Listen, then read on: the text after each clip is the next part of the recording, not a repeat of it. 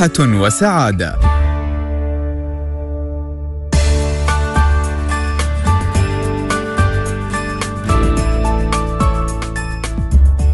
بسم الله الرحمن الرحيم والصلاة والسلام على أشرف المرسلين سيدنا محمد وعلى آله وصحبه أجمعين اللهم اشرح لي صدري ويسر لي أمري واحلل عقدة من لساني يفقه قولي السلام عليكم ورحمة الله وبركاته أعزائي المستمعين. صباح مليء بالإنجازات والتفاؤل. آه، أسعد الله أوقاتكم مستمعينا وأهلا وسهلا بكم في حلقة جديدة من برنامجكم صحة وسعادة. صحة وسعادة برنامج تقدمه لكم هيئة الصحة بدبي بالتعاون مع مؤسسة دبي للإعلام وعبر إذاعتكم المميزة دائما إذاعة نور دبي وبالشراكة مع مستشفى الزهراء. تقدم لكم الهيئة هذا البرنامج ليكون نافذة مفتوحة على مؤسسات المجتمع وأفراده وساحة تفاعل ما بين جمهور المتعاملين مع طموحات الهيئة وتطلعاتها.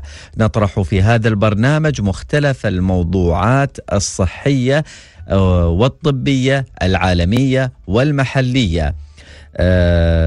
يعني اليوم كذلك عندنا موضوع جدا مهم اللي حاب يتواصل معانا.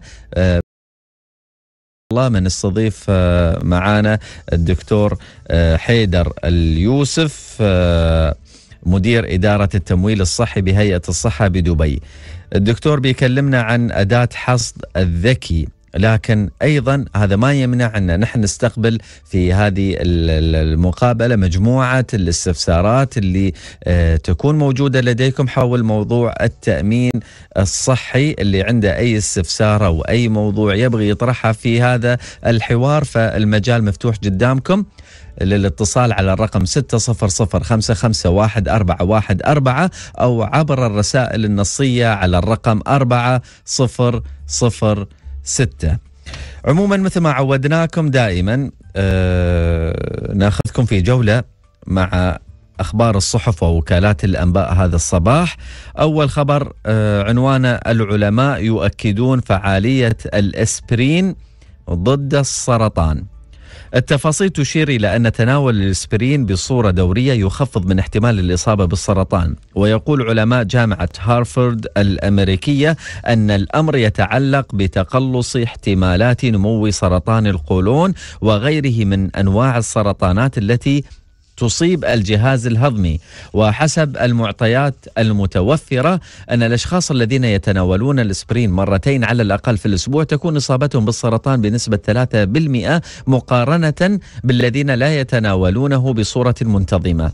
وبينت نتائج الدراسة التي أجراها خبراء الجامعة أن تناول الإسبرين بانتظام قلص احتمال الإصابة بسرطان القولون بنسبة 19% وبقية الأنواع التي تصيب الجهاز الهضمي بنسبة 15% إلا أنه لم يؤثر في احتمال الإصابة بسرطان الثدي والبروتستات آه، والرئتين.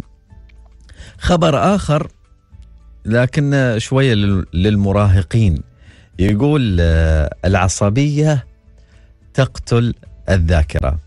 يؤكد العلماء أن المراهقين آه، المتسمين بالعدوانية والعصبية يتعرضون لمشاكل الذاكرة أكثر من تعرض الشباب الهادئين لها. فلقد أجرى عل- العلماء الأمريكيون آه، دراسة شملت مجموعة من المراهقين حللوا عبرها الخصائص خصائص النزعة العدوانية في سن المراهقة وانعكاساتها على حالة الإنسان الصحية المستقبلية. وخلص العلماء إلى أن الشباب العصبيين يعانون أكثر من المشاكل المرتبطة بالذاكرة أو من اختلالات نفسية وأشار العلماء إلى أن عجز الشاب عن السيطرة على سلوكه العدواني يؤدي إلى تدهور صحته بعد مرور بضعة عقود من السنين. هني آه، يعني بروح كذلك بما أن تكلمنا عن الشباب خلونا نتكلم عن المسنين. في خبر يقول العزلة تسرع الوفاة. أظهرت دراسة جديدة أن العزلة ولا سيما لدى المسنين مضرة بالصحة وقد تزيد احتمال الوفاة المبكرة بنسبة 14% كاشفة آلياتها هذه الظاهرة على مستوى الخلايا ومخاطر العزلة الاجتماعية معروفة منذ فترة طويلة إلا أن انعكاساتها الجسدية المضرة لم تكن قد كشفت حتى الآن على ما أوضح الباحثون. وسبق لهذا الفريق من الباحثين بقيادة جون كاسيبو عالم النفس في جامعة شيكاغو أن حدد وجود رابط بين العزلة وازدياد الجينات المسؤولة عن الإصابة بالالتهابات فضلا عن تراجع في الدور الذي يلعبه الجسم في محاربة الفيروسات. باختصار يعاني الأشخاص الذين يعيشون في عزلة من نظام مناعي أضعف ويصابون بأمراض أكثر من الأشخاص الآخرين. وفي إطار أبحاثهم الجديدة درس الباحثون أداء بعض جينات خلايا النظام المناعي التي تحمي الجسم من البكتيريا والفيروسات وحدد هؤلاء أن العزلة تسمح بتوقع نشاط هذه الجينات المختلفة لمدة عام ويبدو أن ثمة رابطا مباشرا بين أداء هذه الجينات التي تحفز الكريات البيض والعزلة. هني ما أدري هذا الخبر ياخذني آه، اني إني أنا أبغى أتكلم عن آه، ملتقى الأسرة. هذا الملتقى اللي آه، تشرف عليه هيئة الصحة بدبي والفكرة الأساسية في هذا الملتقى أن يكون هنالك تجمع ما بين كبار السن لإيجاد كوميتي أو مجتمع خاص فيهم مجتمع فيه التواصل وأيضا آه، آه، يقومون آه، الإداريين في هذا الملتقى بأخذ الكبار السن دائما في رحلات خارجية ترفيهية وأيضا يحاولون دمجهم في هذا المجتمع. وهني كذلك نحن يعني مفهوم إن يكون دار عجزة هذا مفهوم أكل عليه الدهر وشرب الآن لا الآن هي المسألة إني أنا آه، أوفر البيئة اللي, اللي تحمي المسن من إنه يكون آه، في عزلة عن هذا المجتمع. طبعا هذا الكلام من زمان الهيئة تسويه، الحين توهم الباحثين في أمريكا اكتشفوا هذا الموضوع. طبعا آه، هنالك دراسات كثيرة كثيرة، أبغي بعد من الخدمات اللي اللي تقدمها هيئه الصحه في خدمة جميلة جدا. هي توصيل الدواء لمنازل المرضى. آه، وهي أيضا بعد مرتبطة كذلك بكبار السن. توصيل الأدوية للمنازل خدمة نوعية غير مسبوقة تقدمها الهيئة للمتعاملين معها في خطوة. أه مستمعين تهدف إلى تحقيق رضاهم والتسهيل على المرضى وتجنيبهم. أيضا مشقة مراجعة الصيدليات والانتظار لصرف الأدوية. تشمل الخدمة الجديدة المرضى المسجلين في السجلات من المترددين على مستشفيات الهيئة ومراكزها الصحية بغض النظر عن أماكن إقامتهم داخل الدولة. آه، يتم ذلك وفق إجراءات وضوابط تضمن سلامة ومأمونية تخزين ونقل الدواء إلى المريض بعد إرساله لطلب الدواء عبر الموقع الإلكتروني الخاص بهيئة الصحة أو حتى يدويا من خلال تعبئة طلب الخدمة بصيدليات الهيئة. هذه الخدمة تأتي ضمن توجه الهيئة للتسهيل على المرضى وخاصة أصحاب الأمراض المزمنة وهم غالبا كبار السن. وتستخدم آه، الخدمة أو ستعمل الخدمة أيضا على تعزيز القدرة التنافسية والاستدامة للقطاع الصحي الحكومي عبر توظيف الخدمات الذكية لصالح المرضى. عموما آه، مثل ما وعدناكم مستمعينا اليوم عندنا موضوع جميل موضوع آه، قيم. وما نطرح آه، يعني الحديث عن أداة حصد الذكي بما أن نحن نتكلم عن المواضيع اللي تخص التقنيات الجديدة أو الحلول الذكية اللي تطرحها الهيئة بشكل مستمر في مختلف المجالات. بعد الفاصل بيكون معنا الدكتور حيدر اليوسف مدير إدارة التمويل الصحي في هيئة الصحة بدبي. بيكلمنا عن أداة حصد الذكي. مناخذ معلومات أكثر عن هذه الأداة. أيضا مثل ما قلت لكم في بداية الحلقة المجال مفتوح كذلك بما أن الدكتور موجود بنستغل الفرصة اللي عنده أي مداخلة أو عنده أي استفسارات حول آه، برامج التأمين الصحي آه، سعادة أو إسعاد اللي آه، تشرف عليها هيئة الصحة آه، بدبي. أي حد عنده أي ملاحظة أي حد عنده أي اقتراح أي حد عنده أي شغلة ممكن تساهم في تطوير العمل أو استفسار ممكن يتصل على الرقم أو الأرقام اللي أنتم تعرفونها واللي بتسمعونها في الفاصل واللي بذكركم فيها اللي هي 4006 للرسائل النصية أو على آه، على على رقم الاستوديو على 600551414 لا تعصب واطلع فاصل. صحة وسعادة.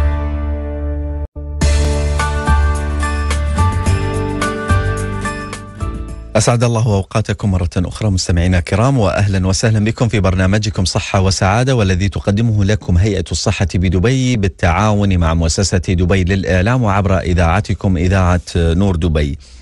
مستمعينا أطلقت هيئة الصحة بدبي يوم أمس الأحد أداة حصد الذكي لمساعدة الراغبين في الاستثمار الصحي بدبي على المقارنة والاستخدام والتوجيه الأمثل لمواردهم المالية من خلال الاستعانة بنتائج تقرير الحسابات الصحية الذي توفره الهيئة على موقعها الإلكتروني والذي يمكنهم من التعرف وقياس وضعهم المالي مقارنة مع أقرانهم في السوق الصحي بدبي.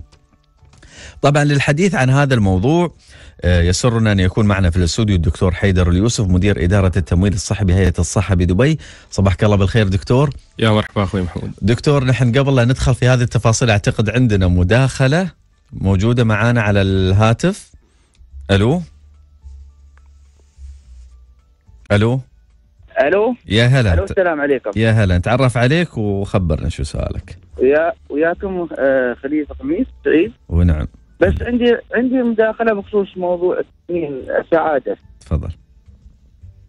آه، الحكومة ما شاء الله ما قصرت على الموضوع هذا وصدت ناس وايدين بخصوص الموضوع هذا التأمين. لكن أنا عندي اقتراح. تفضل. آه أنا ما أعرف شو يسمونه الكايروبراكتر. هذيلا ترى لهم دور في في في عالم الصحة. نعم. في تقويم العظام. لكن الناس ما تعرف عنهم. مثلا أي شيء أي حد عنده عصبة ولا ظهره يعوره ولا شيء يصير المستشفى يعطونه أدوية. بس إذا يعرفون الناس هذيل الكاروبراكترز وفي في ناس متخصصين في مجال تقويم العظام تقويم العمود الفقري. والأعصاب.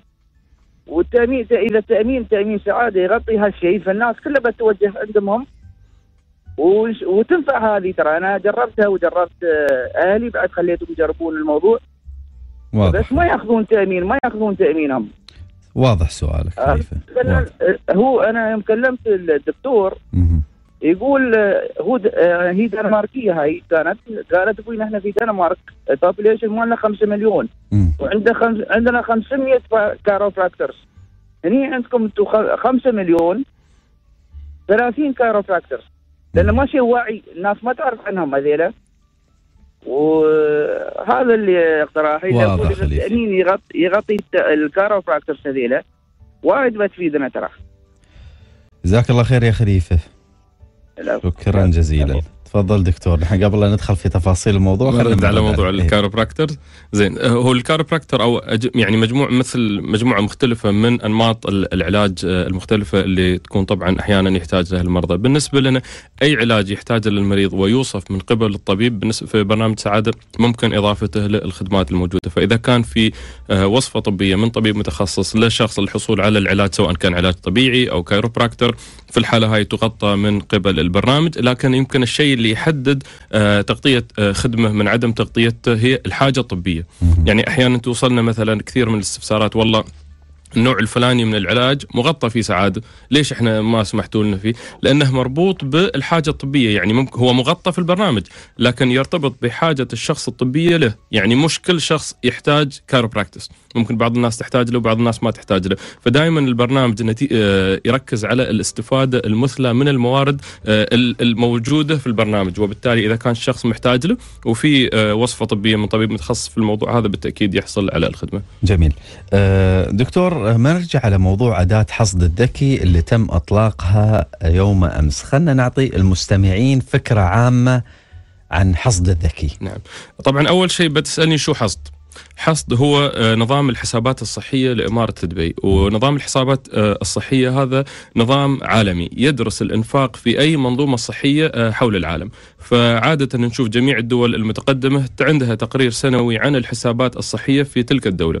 التقرير هذا يدرس خمس نقاط رئيسية ويدخل فيها إلى أبعد مستوى من التفصيل. شو مصادر التمويل الرئيسية في النظام الصحي؟ كيف يتم إدارة وتحريك المبالغ اللي تصرف على المنظومة الصحية؟ شو الجهات والمؤسسات اللي حصلت على المبالغ هاي؟ كانت مستشفيات عيادات. شو أنواع الخدمات اللي قدمت آه، لها المبالغ هاي؟ هل هي مثلا مرضى داخليين مرضى خارجيين خدمات وقائية؟ شو أنواع الخدمات؟ أدوية. كل التفاصيل هاي يدخل لها. وأخيرا من هم المستفيدون من الخدمات الصحية آه، اللي تم تقديمها في المنظومة الصحية؟ فيدرس آه، أو مشروع حصد جميع أنماط الإنفاق سواء مبالغ أنفقت من الحكومة أنفقت من شركات التأمين أنفقت فقط من الأفراد من جيوبهم الخاصة وين صرفت المبالغ هاي ينظر إلى أنماط السلوك آه، وأنماط الإنفاق في المنظومة آه، الصحية. الحقيقة في إعداد التقرير دخلت 45 مليون نقطة معلوماتية لتخرج حوالي 620 تقرير مفصل آه، ينظر إلى كل جانب من جوانب الإنفاق في المنظومة الصحية في إمارة دبي. طيب منو هم المستفيدين من هذه التقارير والأرقام دكتور؟ نعم طبعا هذا حصد المستفيدين سلمك الله هم على على مستويين رئيسيين.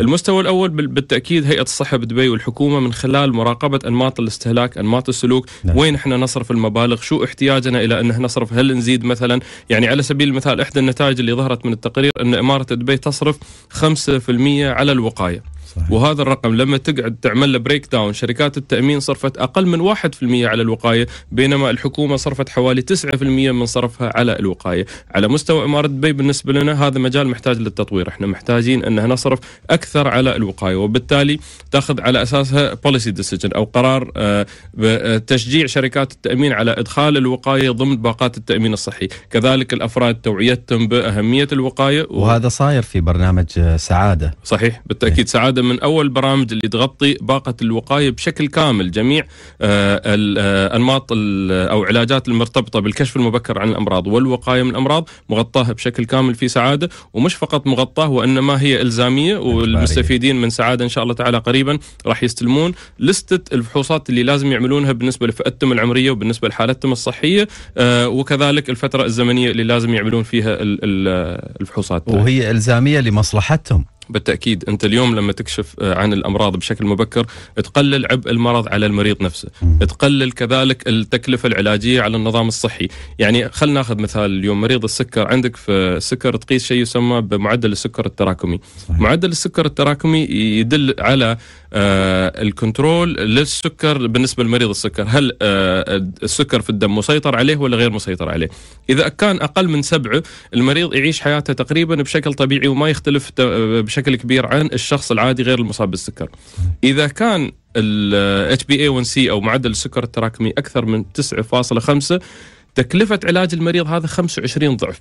نسبة دخول المريض إلى المستشفى أو العناية المركزة نتيجة مثلا لأزمة قلبية أو لأزمة دماغية أو لأزمة سكر يرتفع أضعاف مضاعفة. فأنت بالتأكيد لما تكشف بشكل مبكر وتتدخل لعلاج الأمراض بشكل مبكر تقلل بشكل كبير من عبء المرض على المريض وعلى النظام الصحي. طيب نرجع لل لحصد الذكي دكتور ونتحدث عن أهمية الحسابات الصحية ودورها في توجيه الاستثمار الصحي. أنا قاطعتك في هذا المحور. نعم أنا أنا شرحت ما هو حصد أو ما هو تقرير الحسابات الصحية لإمارة دبي. حصد الذكي هي انوفيشن أو إبداع جديد من الهيئة الحقيقة عبارة عن أداة إلكترونية ممكن يدخل إليها أي مستفيد من النظام الصحي. اليوم أنا سواء شركة تأمين أو شركة إدارة مطالبات تأمينية أو مستشفى أو عيادة أو صيدلية عاملة حاليا في إمارة دبي.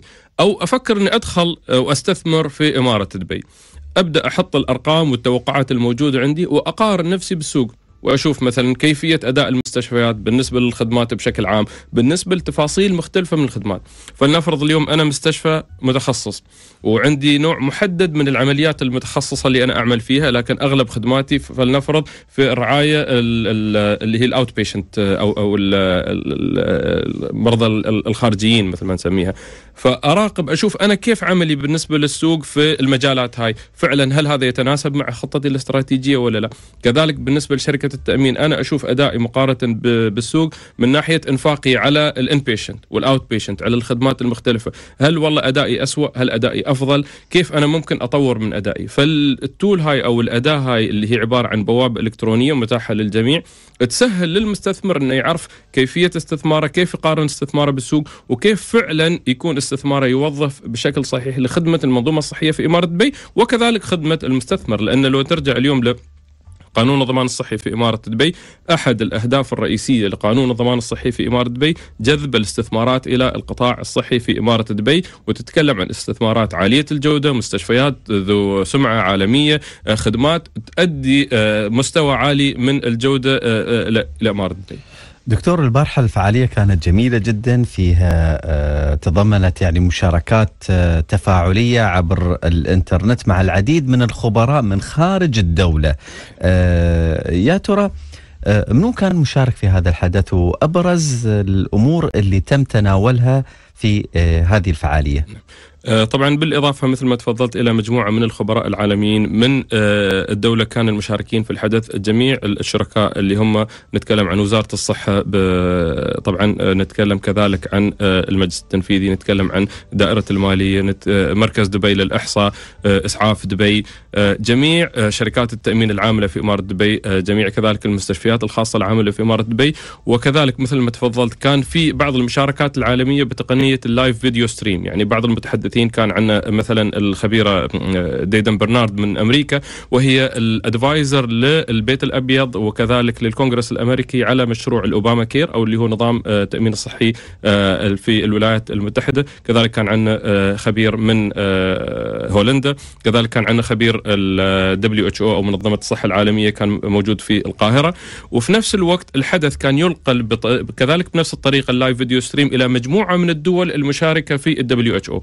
وبالتالي كان في مشاركات من خارج الدولة وكان ينقل الحدث إلى مجموعة كبيرة من الدول نظرت إلى كيفية تطبيق إمارة دبي لل smart حصد أو اللي هي آه، حصد آه، الذكي. جميل. دكتور أنا برجع لهذا الحدث آه، لكن بطلع فاصل. إذا تسمح لي بس المخرج ممكن بس أخذ هذا السؤال آه على السريع. دكتور قبل أن نطلع فاصل تحياتي للجميع. لماذا لم يتم تفعيل تأمين سعادة في مجموعة من العيادات الخاصة؟ منها مركز إندكس الطبي ومركز آه Well Woman Clinic okay. طبعا إحنا بالنسبة لبرنامج سعادة الحقيقة برنامج سعادة يختار مقدمي الخدمات الصحية حسب احتياجات البرنامج. فمثلا لما آه، يكون في 20 عيادة أسنان موجودين في منطقة معينة واحتياج البرنامج إلى خمس عيادات أسنان. فإحنا بالتأكيد في البر... البرا... العيادات اللي هي موجودة. بالنسبة للمستشفيات سعادة يغطي جميع المستشفيات العاملة في إمارة دبي وكذلك خارج إمارة دبي. بالنسبة للعيادات حسب احتياج البرنامج لكن إذا في أي عيادة حابة تنضم للبرنامج تقدم لنا الطلب وتلتزم بشروط البرنامج وتقدم لائحة أسعارها للبرنامج اللي تعتمد من خلال الفريق المختص ومن ثم يتم إدخالها وهذه يعني آلية آه، طبيعية. يعني نقول حق المستمع سير رمسهم خلوا يقدمون. طلب على نعم. وإحنا عادة نهتم كثير طبعا احتياجات المستمعين يعني إذا كان في الأفراد المستفيدين في سعادة يقولون والله إحنا موجودين في المنطقة الفلانية وفي عيادة فلانية وهاي عيادة جيدة فعلى طول يتم التواصل كذلك من البرنامج كذلك بالنسبة لنا وهاي نقطة جدا مهمة العيادات اللي فيها أطباء مواطنين بنفس الطريقة بدون شرط أو قيد على طول يتسجل في البرنامج لأن جزء كبير من دور البرنامج هو دعم المواطنين في آه، المجال آه، الصحي. والله هذه آه، معلومة جميلة جدا دكتور ويعطيكم ألف عافية عليها أنا أول مرة اعرفها أن, أن يتم دعم المواطنين من خلال تواجدهم في العيادات بالتأكيد. وإشراكهم في هذا البرنامج العالمي حقيقة وبقول لكم ليش عالمي بعد الفاصل.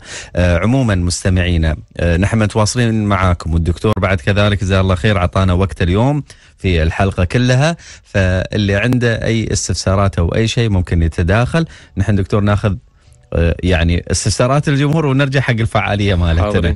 جزاك الله خير يا دكتور. عموما فاصل مستمعين وما نرجع لكم. صحة وسعادة.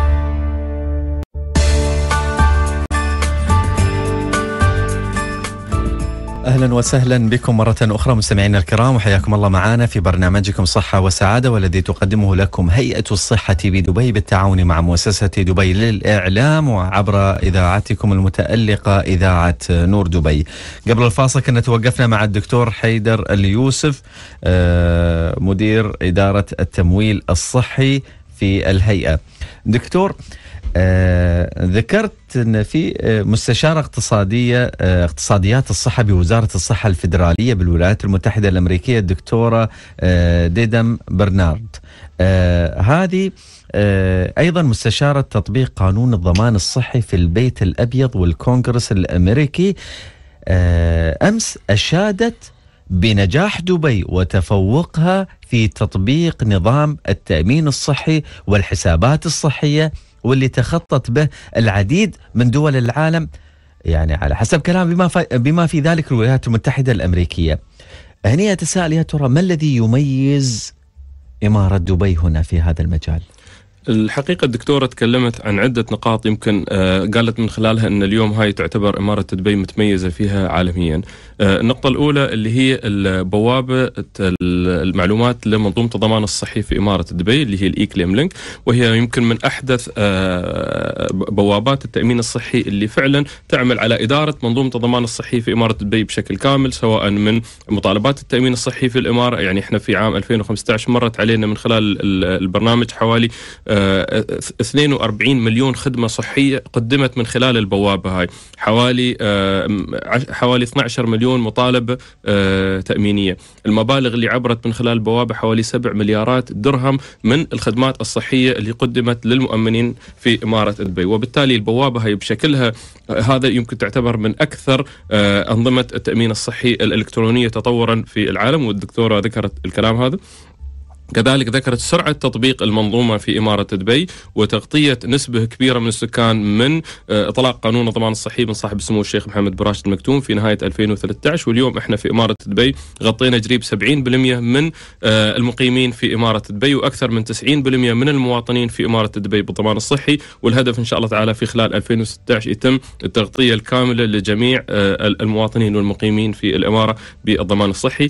كذلك تكلمت الدكتورة عن سرعة إعداد التقرير. دول العالم عادة تاخذ سنتين إلى سنتين ونص لأنها تعد التقرير. يعني مثلا تقرير 2014 راح يعلن في أمريكا في منتصف في بداية 2017 تقريبا.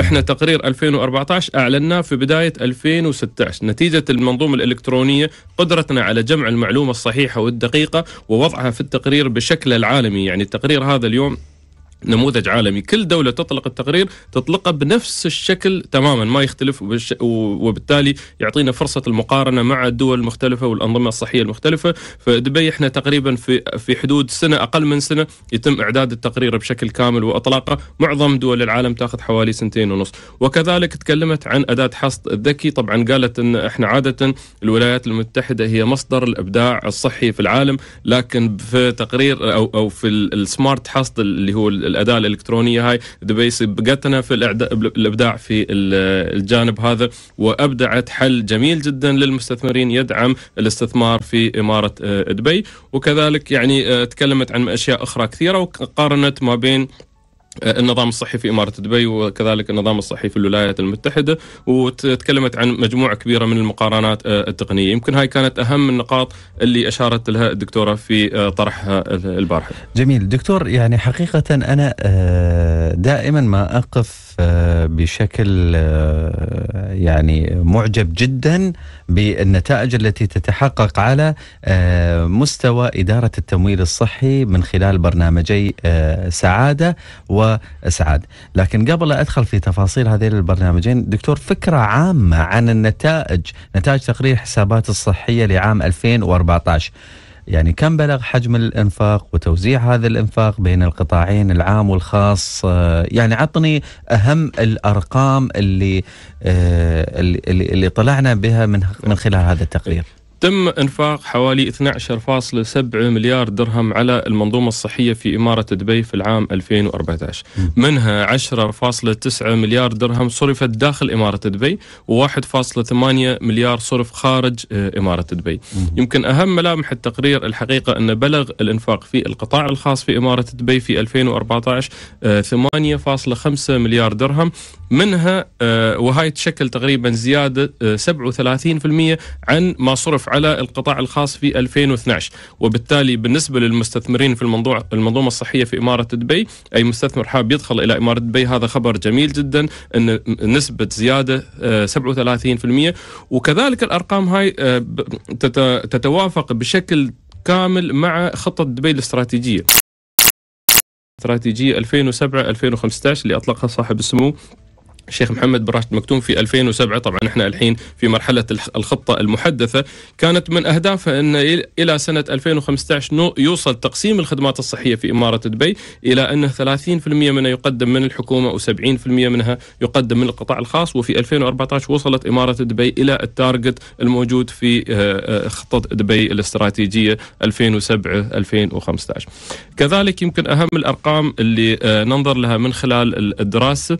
إن آه، بلغ الإنفاق من الحكومة مثل ما ذكرت 30% من مجمل الإنفاق من أصحاب العمل وهذا بالدرجة الأولى من خلال برامج التأمين الصحي وصل إلى 45% من كامل الإنفاق و25% كان من الأفراد نفسهم الحين طبعا هاي ال 25% تشمل كذلك إنفاق الأفراد على جميع الأمور اللي مش مغطاة بالتأمين الصحي مثلا العمليات التجميلية وغيرها الاستخدام الدواء بشكل عام جميع الإنفاق سواء كان مشمول بالتأمين الصحي أو غير مشمول بالتأمين الصحي يدرج من خلال اللي هو ما يسمى out of pocket أو الإنفاق آه، المباشر من آه، الأفراد. كذلك يمكن آه، معلومة جدا مهمة أن بلغ الإنفاق في المستشفيات 47% من كامل الإنفاق وكان الإنفاق على الخدمات العلاجية 59% من مجمل الإنفاق بينما بلغ الإنفاق على الوقاية 5% فقط. بالنسبة لنا هاي نقطة مهمة إحنا عادة العلاج مفروض إنه يكون المرحلة الأخيرة. أنت يمكن تحاول تنفق أكثر على عملية الوقاية بحيث أنك في المستقبل راح تنفق أقل على العلاج المباشر فبالتالي أنت تحاول تتلافى الأمراض اللي ممكن آه، تصيب أفراد آه، المجتمع. وبالتالي هاي من النقاط الاستراتيجية المهمة بالنسبة لإمارة دبي إنها تدعم الإنفاق أكثر على عملية الوقاية سواء من قبل الحكومة أو القطاع الخاص للتقليل من التكلفة العلاجية المستقبلية لأفراد المجتمع. كذلك بلغ تكلفة الإنفاق على الفحوصات الطبية والأشعة وغيرها حوالي 15% اللي هو يعتبر شوية أعلى من الإنفاق العالمي. وهاي كذلك من خلال آه، تطوير نظام تنظيم أسعار أسعار الخدمات الصحية في إمارة دبي من النقاط اللي تم إدراجها وكذلك آه، الانتباه لها. طيب آه، دكتور الآن في القطاع الخاص آه، يعني وايد مهم إن هم أو شغلة إجبارية إن هم كل الموظفين اللي يكونوا موجودين في هذا القطاع إن يتوفر لهم تأمين باقة تأمين صحي صحيح. اللي هي ضمن برنامج إسعاد إسعاد نعم طيب آه الآن أنا أبغي أتكلم على على هذه المسألة بالنسبة للمواطنين سعادة هو برنامج آه مجاني. صحيح. آه كل مواطنين دبي يحصلون على هذا البرنامج. طيب الآن أنتم تساهمون بشكل أو بآخر في توطين القطاع الخاص. صحيح. خلينا نشرحها كيف. نعم. اليوم آه مثل ما تفضلت أخوي محمود آه قانون الضمان الصحي في إمارة دبي يلزم صاحب العمل بتوفير التأمين الصحي للموظفين الموجودين لديه. آه طبعا إذا كانوا الموظفين هاي من المقيمين في الإمارة التزام صاحب العمل بالإضافة إلى أنه يدفع جميع مستحقات الموظف أنه يقدم له التأمين الصحي. صحيح. بالنسبة للموظف المواطن صاحب العمل مش محتاج أنه يقدم له التأمين الصحي لأن برنامج سعادة يتكفل بالتأمين الصحي وبرنامج سعادة يضمن للمواطن مستوى من التغطية الصحية نبغى إحنا نكون متحكمين فيها وإنه دائما تعطي المواطن احتياجاته الصحية الكاملة.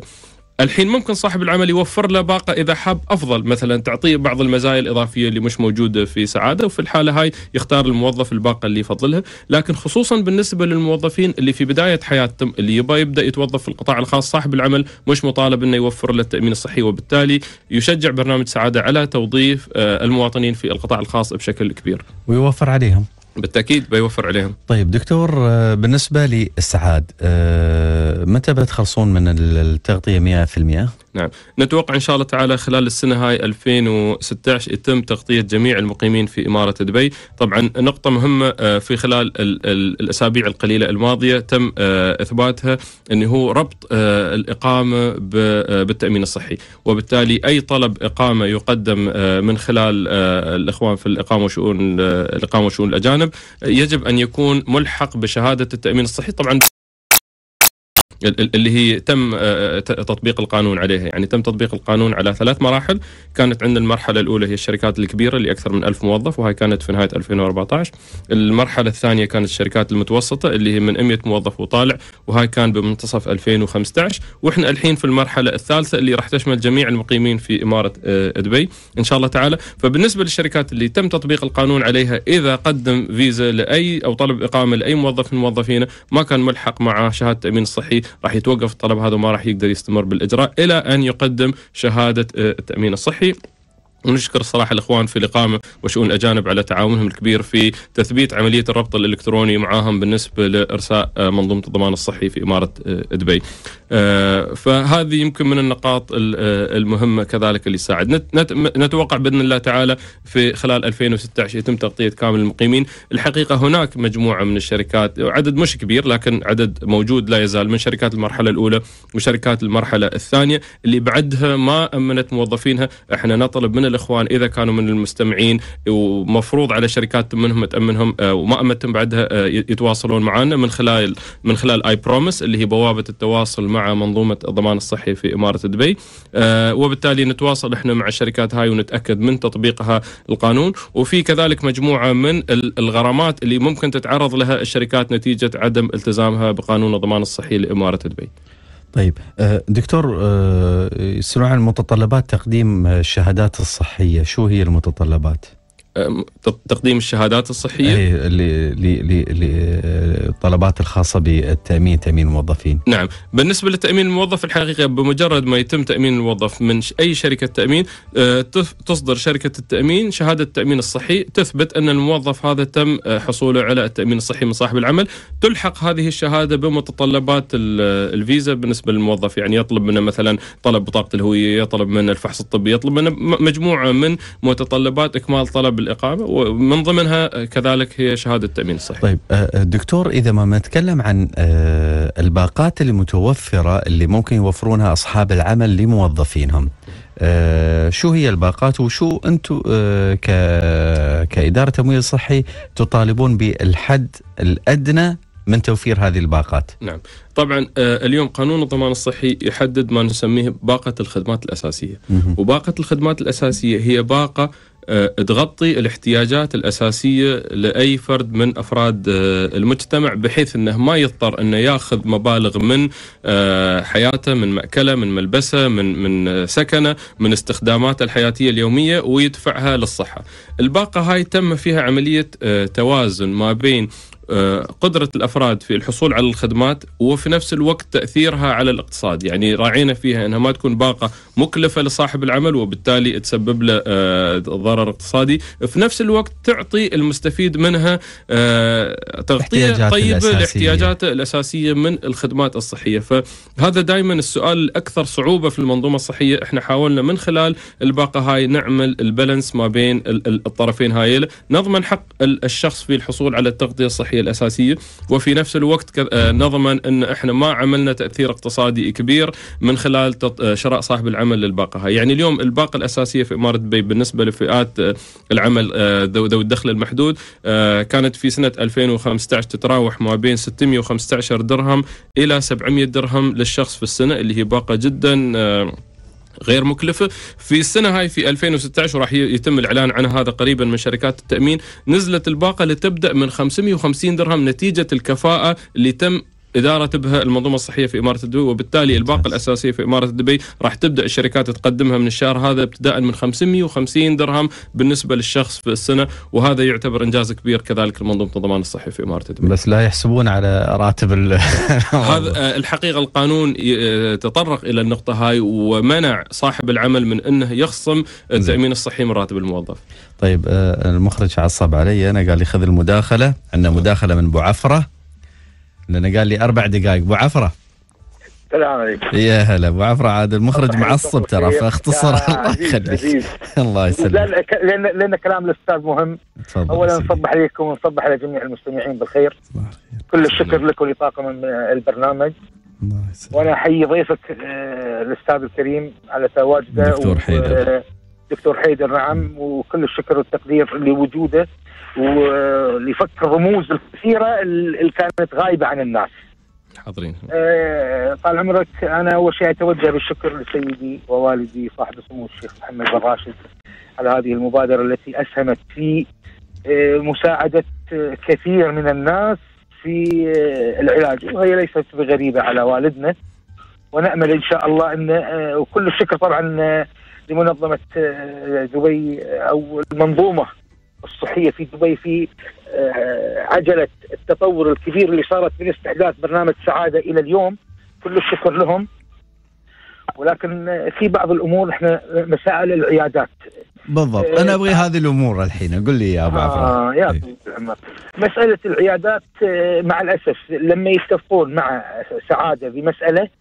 ولكن بتطبيق الواقع في أمور كثيرة قاعد تحصل آه، مثلا؟ آه، مثلا من ناحية الدفع من ناحية آه، آه، الخدمات التي هي لازم تقدمها على برنامج سعادة ولكن يقول لك لا أنا برنامج سعادة ممكن لحد ما إن أنا أعالجك وأستلم حقوقي أنا مضطر ان اخذ منك الحين كاش وأنت تراجعهم مثل بعض البرامج اللي اللي موجودة عندنا. يعني فنحن نعم. تفضل.